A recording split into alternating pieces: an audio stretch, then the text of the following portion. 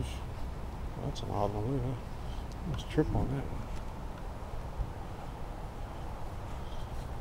Oh, Don. Marked out a 338.